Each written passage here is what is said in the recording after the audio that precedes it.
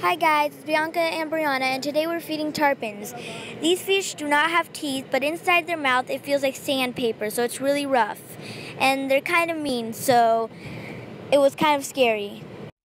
Oh my god, I put my pants on inside out. I couldn't tell cause the lights were out. I'll beat the sunrise again. Oh, oh, oh. Neighbor stare. I smile and wave cause I